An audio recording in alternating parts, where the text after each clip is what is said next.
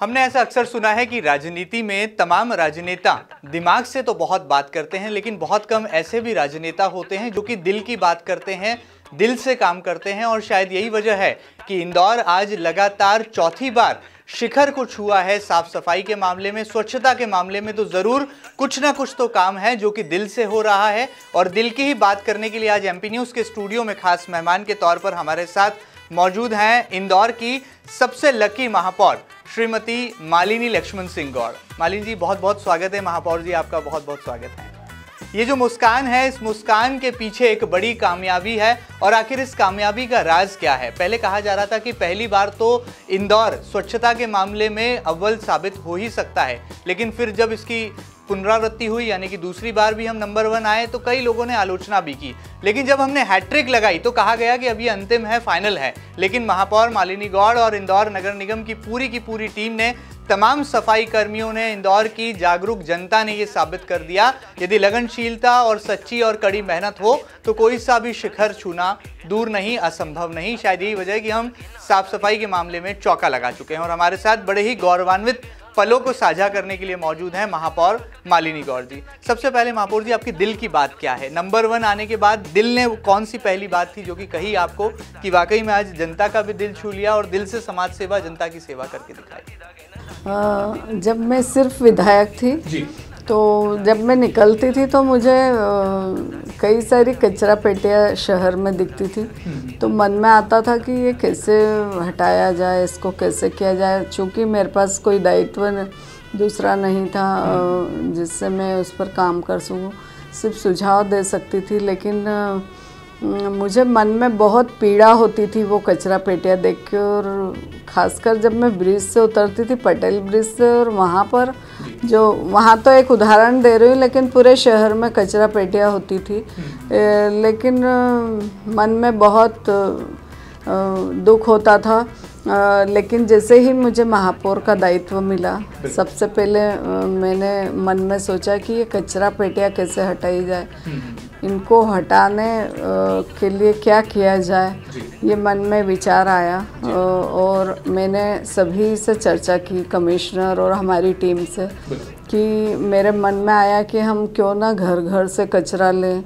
क्योंकि मैंने एक छोटे से गाँव झाबुआ जहाँ मेरा नानेरा है वहाँ मैंने ये देखा था कि गाड़ी निकल रही है गाना बज रहा और लोग बाहर कचरा लेके आ रहे तो वहीं से मुझे ये प्रेरणा मिली और मैंने सबको ये बताया। फिर हमने गाड़ी तैयार करवाई। साइकिल रिक्शा और गाड़ी। और उसमें अलग अलग गीला सूखा कचरे के बॉक्स बनाए और एक स्मार्ट वार्ड लिया और उसमें हमने ये शुरुआत की। तो हमको काफ़ी सफलता मिली। फिर हमने धीरे धीरे अब संसाधनों की कमी थी। तो संसाधन कैसे जुटाया जाए? चूँकि जब तक प्रधानमंत्री जी ने आह्वान कर चुके थे तो हमने स्वच्छ भारत मिशन में हमको काफ़ी पैसा प्रधानमंत्री जी ने दिया। तो हमने उन संसाधनों को खरीदा और पूरे पिचासी वार्डों में हमने गाड़ियाँ, डोर टू डोर गाड़ियाँ लगवाई और कच्चा संग्रहण का काम शुरू किया। तो इतनी बड़ी सफलता मिली। फिर उस कचरे को ले जाया। कहाँ जाए हमने धीरे धीरे कचरा स्टेशन बनाए वहाँ पे डम किया। वहाँ से कचरा उठाकर बड़ी गाड़ियों में हमारा ट्रेंचिंग ग्राउंड तक जाता था। ट्रेंचिंग ग्राउंड भी एक बहुत बड़ी समस्या थी। वहाँ पर कचरे के पहाड़ बन चुके थे और उस एरिया के लोग बहुत परेशान थे। बहुत बदबू आती थी मीथेन गैस उत्पन्न हो जाती थी और उससे कचरा जलने लगता था तो उसका धुआँ बाहर फैलता था। तो बहुत बड़ी समस्या थी। फिर हमने धीरे धीरे ये शहर की व्यवस्था ठीक की। फिर डेली का डेली सेग्रीगेट करने के लिए हमने ट्रेचिंग ट्रेंचिंग राउंड पर प्लान किया कि सबसे पहले कचरे के पहाड़ हटाए। उसमें से कई सारा कचरा हमारे उपयोग में आने वाला था। हम्म। जैसे गीला कचरा है उससे बहुत अच्छी खाद बन रही है। हम्म। सूखे कचरे में से कई सारी चीज़ें निकलती पंद्रह सोलह चीज़ें। हम्म। वो अलग अलग काम में आती है तो उसको सेग्रीगेट करके हमने ये काम शुरू किया। और बचा हुआ बारीक कचरा छान कर उसी जगह हमने बिछा दिया और उस पर हमने बहुत सुंदर बगीचा बना दिया। तो आज आप देखेंगे वहाँ पर एक कप चाय पी सकते हैं। आप भोजन कर सकते हैं लोग पिकनिक मनाने जाते हैं। तो ये हमारी बड़ी उपलब्धि। बिल्कुल ठीक बात है। कहा जा सकता है बड़े गौरव की बात है कि वेस्ट मैनेजमेंट के साथ साथ जो सेग्रीगेशन का फॉर्मूला था वो कहीं ना कहीं पूरी तरह से अमल में लाया गया और शायद यही वजह थी कि इंदौर के जागरूक नागरिकों ने भी बढ़ चढ़कर इसमें अपनी सहभागिता, अपना योगदान दिया और आज लगातार इंदौर चौथी बार शिखर पर विराजमान है। महापौर जी, लेकिन उसके बावजूद ऐसा अक्सर देखने में आता है कि कुछ ऐसे लोग हैं जो कि शहर को गंदा करने पर आमदा होते हैं। आज भी लोग जो हैं बाज नहीं आते। हालाँकि इसको लेकर के आपने कई कड़े फैसले भी लिए, स्पॉट फाइन की भी शुरुआत की जो जगह जगह लोग थूकने की आदत जो लोगों की थी उस पर भी आपने डंडा चलाया। उसके बावजूद ऐसे लोग हैं क्या उन्हें उन्हें लेकर कभी कोई गुस्सा आता है नाराज़गी आती है? और आने वाले दिनों में जैसा कि मुख्यमंत्री शिवराज सिंह चौहान जी ने कहा है कि हम चौके के बाद छक्का भी ज़रूर लगाएँगे तो क्या उस दिशा में हम कदम बढ़ाएँगे? जी। कदम तो बढ़ाया हमने स्पार्ट फाइन किया स्ट्रिक्ट निर्णय लिए। हमने मैंने कई बार जो पीक थूकने वाले उनको पीछे पकड़ा है उनको हम्म। तो काफ़ी कुछ हमने किया, लेकिन आज वास्तव में इंदौर की जनता अवेयर हुई है। और जिस प्रकार से हमने उनकी आदत में ला दिया है और उनको आदत में आ गया है सफ़ाई व्यवस्था तो अभी एक दूसरे को लोग पकड़ लेते। कोई थूकता तो दूसरा मैंने मैंने एक उदाहरण देखा कि एक महिला ने एक को पकड़ा।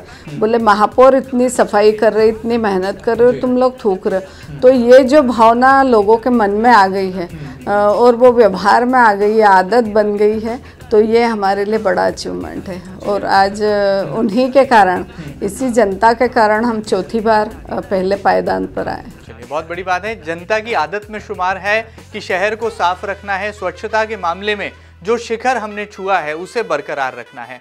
महापौर जी कोरोना काल ये वो दौर रहा जिंदगियाँ बदल गईं और शताब्दियों में ऐसा वक्त आता है। और अक्सर हमने देखा कि इस कोरोना काल की चुनौती के बावजूद निगम के जो सफ़ाई कर्मी थे वो सड़कों पर तैनात थे। तमाम तरह के लॉकडाउन के बावजूद भी जो है उन्होंने अपने दायित्व को निभाया। कैसे आप उनकी पीठ थपथपाएँगे बिल्कुल आ, मैं बताना चाहूँगी कि मैं अकेला कुछ नहीं कर सकती थी। हम्म। सफ़ाई मित्र हो, जनप्रतिनिधि हो, हमारे बहुत अच्छे अधिकारीगण हैं। जो दिन रात इसमें लगे रहते थे तो मैं सफ़ाई मित्रों का भी बहुत धन्यवाद करती हूँ जिन्होंने कोरोना काल में भी इस कार्य को किया दूरी बनाकर और हमने पहले से ही कोरोना बीमारी नहीं आई उसके पहले से हमने मास्क ग्लव्स जूते साड़ी जो भी उनको आवश्यकता थी वो हमने पूरा किया ताकि वो लोग भी स्वस्थ रह सकें। इसलिए हमने ये किया था लेकिन आज कोरोना काल में भी हमने उनको दूरी बना के और सफ़ाई व्यवस्था का काम दिया और उन्होंने बखूबी से निभाया। बिल्कुल ठीक बात है। अच्छा ये बताइए कि लोग अब आपको कहते हैं कि आप तो स्वच्छता की देवी हैं। जहाँ जाती हैं, वहाँ स्वच्छता का नारा बुलंद होता है। क्योंकि पूरी दुनिया में इंदौर एक आइडियल सिटी के तौर पर भी पहचाना जा रहा है। आज इंडिया को इंडिया में ना केवल इंदौर को स्वच्छता के मामले में बल्कि इंदौर को एक आइडियल सिटी के तौर पर भी इंडिया के देखा जा रहा है। उसे लेकर क्या कहेंगे बिल्कुल इतनी स्वच्छता हो गई कि लोग मतलब मुझे एक लड़के ने बताया कि मेरी माँ को अस्थमा हो गया दिल्ली से मैं यहाँ शिफ्ट हो गया। कई सारे उद्योग आ गए हैं। तो ये स्वच्छता के कारण और डॉक्टरों का कहना है कि स्वच्छता के कारण मलेरिया डायरिया और अस्थमा जैसी बीमारियाँ कम हुई हम्म। तो और प्रदूषण विभाग का कहना है कि 42 परसेंट धूल के कण कम हुए हम्म। तो ये हमारे लिए बहुत बड़ी बात है और लोग यहाँ पर आकर बस रहे हैं ये भी एक स्वच्छता में एक उपलब्धि है। मतलब ये स्वच्छता की देवी का आशीर्वाद है इंदौर को ऐसा कहा जा सकता है? मेरा सहयोग और मेरा स्नेह प्यार सभी लोगों के लिए है पूरी जनता के लिए है। जनता ने जिस तरह मुझे प्यार स्नेह आशीर्वाद दिया मैं उनकी ऋणी हूँ। चलिए, बड़ी बात है, जनता की ऋणी है और मुझे ऐसा लगता है एक जनप्रतिनिधि को जनता का सदैव ऋणी रहना भी चाहिए क्योंकि वो जनता ही है जो कि सीधे शिखर पर विराजमान हमारे इंदौर के इस पायदान को न केवल बरकरार रख सकती है, बल्कि आप जैसे जनप्रतिनिधियों का हौसला भी बुलंद कर सकती है। आगे बढ़ते हैं महापौर जी, जब पहली बार आपने राजनीति में कदम रखा, तब ये कभी किसी ने कल्पना नहीं की थी कि एक ऐसा नारी नेतृत्व इंदौर शहर को मिलेगा, देवी अहिल्या की नगरी को मिलेगा जहाँ पर एक आज के दौर की आधुनिक देवी अहिल्या प्रकट होंगी और स्वच्छता के मामले में शिखर पर ले जाएँगी विकास कराएँगी और राजनीति में भी एक शुचिता का उदाहरण प्रस्तुत करेंगी। ये कैसे कुछ संभव हो पाया? ये मैंने सब बहुत करीब से मेरे घर में देखा था। मेरे पति देव लक्ष्मण सिंह जी गौड़ लखन दादा राजनीति में थे और मैं गृहिणी थी। लेकिन सभी कार्यकर्ताओं का मान सम्मान करना मेरा धर्म था और मैं हमेशा उनके स्वागत सत्कार करती थी। राजनीति पे मैं तो नहीं थी, लेकिन बहुत करीब से मैंने देखा है और उन्हीं की प्रेरणा से, लखन दादा की प्रेरणा से और अदृश्य शक्ति के रूप में मेरे वो साथ हैं तो मैं कुछ कर पा रही हूँ, कुछ काम कर पा रही हूँ। बड़ी बात है, सियासत में साफगोई होना एक बड़ी बात होती है और यही साफगोई जो है, श्रीमती मालिनी लक्ष्मण सिंह गौड़ को इंदौर का एक मज़बूत नेतृत्व देने की ऊर्जा और शक्ति संबल सब कुछ प्रदान करती है। महापौर जी, जब आपने पहली बार महापौर की कुर्सी संभाली तब पहला विज़न क्या था? क्या तब से ही ठान लिया था कि स्वच्छता के मामले में अग्रणी इस शहर को बनाना है? या फिर आपने आगे जैसे जैसे कदम बढ़ाए, तब महसूस किया कि ये भी एक ऐसा क्षेत्र हो सकता है जिसमें हम शहर को आगे ले जा सकते हैं?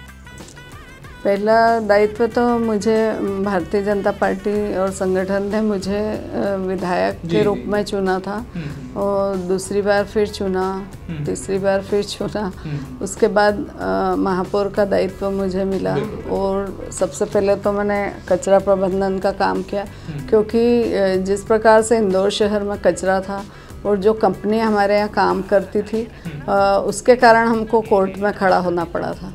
तो कचरे का काम तो था ही उसके अलावा कई सारी चुनौतियाँ थी। हमने बहुत से पुल पुलियाओं का निर्माण किया हमने स्मार्ट सिटी का काम किया हमने अमृत योजना में 28 नवी टंकियाँ बनाई हमने स्वच्छ भारत मिशन से कई संसाधन खरीदे तो ऐसे कई शहर के काम आप सभी ने देखा, जवाहर मार्ग का पुल हमने तीन महीने में बनाकर तैयार किया। तो कई सारा काम हमने स्वच्छता के अलावा भी किया इस शहर को बनाने में और सभी लोगों ने भरपूर सहयोग किया। सभी हमारे जनप्रतिनिधि, पार्षदगण जो अपने अपने वार्ड के जो भी काम होते थे, वो हमने किए हैं, चाहे वो कांग्रेस का पार्षद हो चाहे बीजेपी का हो सभी लोगों के खूब काम किए और इस प्रकार शहर के अनो अनेकों बड़े काम भी हुए हम्म। अमृत योजना में हमने बड़े बगीचे बनाए हैं विश्राम बाग हो सिरपुर तालाब के वहाँ एक बड़ा बगीचा बन रहा है हम्म। एक स्नेह नगर में बन रहा है तो ऐसे कई बड़े बगीचे और 28 नई पानी की टंकियाँ हम्म। और आप सभी ने देखा बाईपास पे भी बड़ी लाइन बिछी ताकि बाईपास के उधर रहने वाले ग्रामीण इलाके में भी पानी पहुँच सके हमने ये काम अमृत योजना से किया और ये माननीय प्रधानमंत्री जी की योजना है। स्मार्ट सिटी में हमने सात सौ बहत्तर एकड़ वाला और चुनौतीपूर्ण एरिया हमने रेट्रोफिटिंग एरिया लिया। आ, उसमें स्मार्ट सिटी के हमने कई सारे काम किए। उसमें एक नंबर आ, तीन नंबर और चार नंबर विधानसभा का क्षेत्र आता है। आ, उसमें कई सारा काम हुआ है। तो ऐसे शहर में अनेकों विकास के कार्य भी और स्वच्छता का काम भी हुआ। लेकिन महापौर जी क्या कोई ऐसा सपना है जो अधूरा रह गया या आपको लगता है कि थोड़ा और वक्त मिल जाता इस कार्यकाल में और इजाफा हो जाता तो ये जो अधूरा काम है ये भी ज़रूर से पूरा कर लिया जाता? बिल्कुल एक काम है जो मेरे मन में हमेशा से रहा और लखन जी के मन में भी था। हम्म। जो कान्ह नदी है हमारी उस पर मेरे कार्यकाल में तो काफ़ी काम हुआ है हम्म। लेकिन और अधिक उस पर काम करना है हमको वो जो होलकर ज़माने में बहुत सुंदर नदी बहती थी उसको बहते हुए मुझे देखना है हम्म। तो ये एक सपना है और आगे जो भी महापौर होंगे उनको मैं सुझाव भी दूँगी और उनको करने के लिए भी कहूँगी। चलिए, बड़ी बात है, दूरदृष्टि और पक्का इरादा कुछ ऐसा ही यहाँ पर बात कर रही हैं महापौर श्रीमती मालिनी गौड़ जी और लगातार ये भी बता रही हैं कि कैसे पहला कदम जब उठाया था तो एक संकल्प था, एक दृढ़ इच्छा शक्ति थी और शायद यही वजह है कि तमाम तरह की जो आज सफलता इंदौर ने हासिल की है, उसके पीछे कड़ी मेहनत और लगनशीलता का भी कमाल है। महापौर जी आपके दिल में क्या है? जिस तरह से आपने इंदौर को लेकर एक सपना देखा था अब तो प्रधानमंत्री नरेंद्र मोदी जी भी आपसे विकास को लेकर या स्वच्छता को लेकर कभी कोई सलाह या कोई सुझाव मांग सकते हैं। ऐसे में क्या दिल में है? क्या देश के और भी शहरों में इंदौर का यह फॉर्मूला लागू होना चाहिए ताकि हम एक भारत को स्वच्छ भारत भी बना सके राष्ट्र बना सके? बिल्कुल।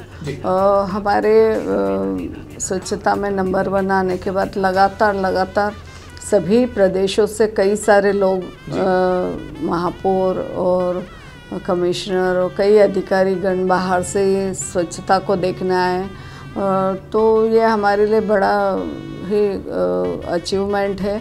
और जिस प्रकार से सभी लोग देखने आते तो मेरे मन में एक इच्छा है और वे वो पूरी भी हो सकती है एक ट्रेनिंग सेंटर खोलने का विचार मन में आया है, ताकि लोग वहाँ पर आकर ट्रेनिंग भी ले सकते बाहर से आके, ताकि अपने अपने शहरों में जाकर वे यहाँ से कुछ सीख कर वहाँ पर काम कर सके और अपना शहर भी सुंदर बना सके। चलिए, बड़ी बात है, हम नंबर वन तो हैं ही, लेकिन आपको नंबर वन कैसे होना है, दूसरे शहरों को वो यदि सीखना है तो इंदौर आकर प्रशिक्षण लेने की बात भी जो है यहाँ पर महापौर मालिनी गौड़ जी कह रही हैं और यदि उन्हें मौका मिला तो ज़रूर ये प्रशिक्षण केंद्र भी विकसित होगा। क्या महापौर जी कभी ऐसा कोई पल आया कि किसी ने आपको रोका कि स्वच्छता के मामले में लगातार इतनी मेहनत क्यों कर रहे हैं इतना पसीना क्यों बहा रहे हैं? क्या कभी कोई अवरोध आया किसी राजनीतिक कारण से आपको अवरोध महसूस हुआ या कभी लगा कि टीम के कुछ सदस्य जो हैं वो असहयोग कर रहे हैं? नहीं ऐसा कोई पल तो नहीं आया लेकिन हाँ इस शहर से जब हमको आवारा पशु हटाना था तो हम्म। मैंने सभी जनप्रतिनिधियों से चर्चा की। उनके साथ बैठकर मैंने उनसे बात करके कहा कि भाई हम लोग ये यहाँ से आवारा पशु हटाने वाले हैं आप लोगों को कोई दिक्कत नहीं हो। हम्म। तो मैं ये काम कर पाऊँगे आगे। तो सभी लोगों ने सहमति दी और उसके बाद हमने इस शहर से आवारा पशु उठाए तो सभी राजनीतिक दलों ने भी खूब सहयोग किया। तो मैं सभी का धन्यवाद करती अच्छा ये बताइए कि मनीष सिंह जी का नाम जो है लगातार आता है सामने। कहा गया कि जब वो निगम आयुक्त थे तो उन्होंने पूरा खाका खींचा पूरी ये कार्य योजना तैयार की जिसे आपने हरी झंडी दी और बाद में जो है ये सपना साकार हो गया। आज वो इंदौर के कलेक्टर भी हैं जलाधीश भी हैं तो ऐसे में कितना प्रतिशत क्रेडिट आप उनको देती हैं? देखिए मनीष सिंह जी ने भी किया मेरे साथ काम आशीष सिंह जी ने भी मेरे साथ काम किया है। तो सभी हम लोग समन्वय बिठा के काम करते थे।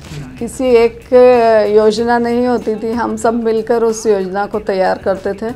और हमारा कोऑर्डिनेशन बहुत अच्छा था और उसी से हम चर्चा करके आगे काम करते थे। अच्छा आप बताइए आपके महापौर कार्यकाल में आपको दो निगम कमिश्नर मिले आशीष सिंह जी भी मिले मनीष सिंह जी भी मिले। कौन से बेहतर लगे आपको? किन के साथ काम करना तालमेल सामंजस्य बैठाना आसान रहा? बेहतर थे दोनों ने अच्छा काम किया है हम्म। और हम लोगों ने मिलकर काम किया। बराबरी के नंबर देंगे आप दोनों को मतलब। चलिए चूँकि जी। बात नहीं है शहर का काम अच्छा होना चाहिए दोनों ने अच्छा काम किया। चलिए, शहर की प्रथम नागरिक हैं क्योंकि उनकी जो आवाज़ है, वो सरकार के कानों तक भी पहुँचती है, लिहाजा अफसरों का जब जब रिपोर्ट कार्ड तैयार होता है तो जन प्रतिनिधियों की भूमिका जो है, उसमें सबसे महत्वपूर्ण, सबसे अहम मानी जाती है। महापौर जी, आपके दिल की बात भी इंदौर की जनता जानना चाहती है। हम अक्सर आपको कभी गाना गुनगुनाते हुए भी देखते हैं, सुबह पाँच बजे उठ के लोगों को जागरूक करते हुए भी देखते हैं, कई सारे सोशल मीडिया पर, इंटरनेट की दुनिया में आपके वीडियोज़ भी देखते हैं, जिसमें आप लोगों को सिखा रही हैं, सबक सिखा रही हैं, पाठ पढ़ा रही हैं। दिल में अब क्या है? इतने ऊँचे मुकाम पर इंदौर को आप ले गई आपके नेतृत्व में इतना कुछ हो गया। दिल में सिर्फ़ काम करने की इच्छा होती क्योंकि आ, मैं व्यस्त रहती हूँ तो मुझे अच्छा लगता है। आ, क्योंकि पूरा दिन भर मेरे आ, दिमाग में मेरे पति होते हैं और आ, मैं काम काम में व्यस्त रहती हूँ तो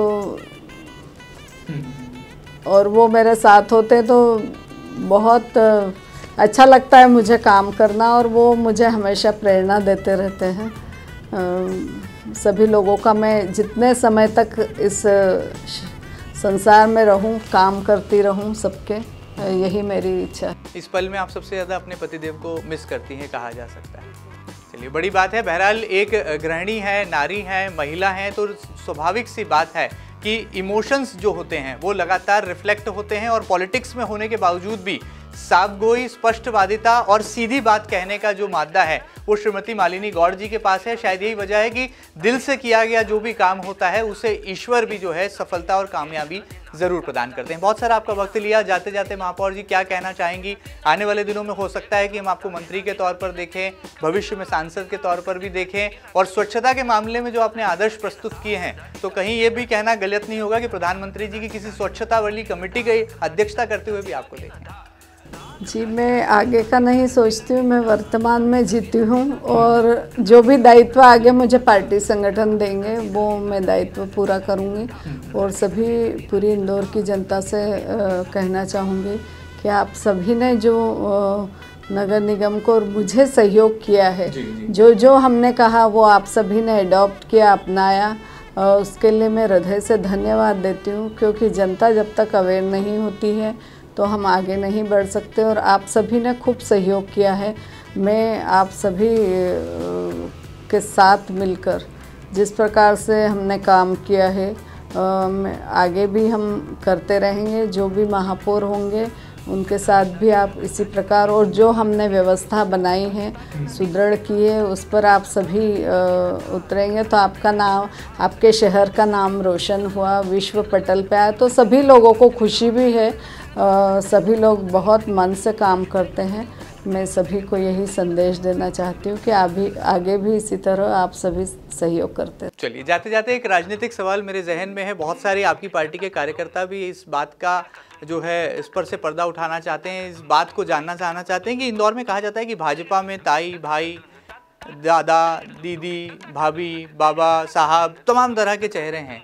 तो क्या इन लोगों ने भी इतना ही सहभागिता के साथ आपका सहयोग किया इस जन आंदोलन में और स्वच्छता के मामले में इंदौर को नंबर वन बनाने में सभी लोगों का आशीर्वाद रहता है और मुझे समय समय पे बताते भी हैं हम्म। मार्गदर्शन भी देते हैं हम्म। मैं सभी का हृदय से धन्यवाद करती हूँ चलिए हृदय से धन्यवाद है धन्य है कि धन्यवाद का ये क्षण जो है इंदौर वासियों के समक्ष आया और इंदौर को चौका लगाने की तो बधाई ही बल्कि ऐसे नारी नेतृत्व की भी बधाई जिसने वाकई में अपने पूरे कार्यकाल में साबित करके दिखाया कि वो गृहिणी ज़रूर हैं, लेकिन दूरदृष्टि भी है उनके पास। आँखों में एक सपना है और कुछ कर गुजरने की ललक और तमन्ना है, और शायद यही वजह है कि आज पूरी दुनिया में इंदौर का नाम सुर्खियों में है और लगातार हमारे भारत के सबसे स्वच्छ शहर की श्रेणी में चौथी बार हम विराजमान हुए हैं। उम्मीद है कि आने वाले दिनों में हम इसी सिलसिले को बरकरार रखेंगे और स्वच्छता का नारा आप और हम यूँ ही बुलंद करते रहेंगे। फ़िलहाल एमपी न्यूज़ के स्पेशल सेगमेंट में इतना ही। ताज़ा तरीन खबरों के लिए लगातार बने रहें आपके अपने न्यूज़ चैनल एमपी न्यूज़ के साथ। दीजिए इजाज़त। नमस्कार। एमपी की नब्स एमपी का हाल मध्य प्रदेश की हर खबर एमपी न्यूज़ टीवी के साथ। लगातार खबरों के लिए सब्सक्राइब करें हमारा YouTube channel MP news TV latest updates के लिए बेल आइकन दबाना जरा भी न भूलें।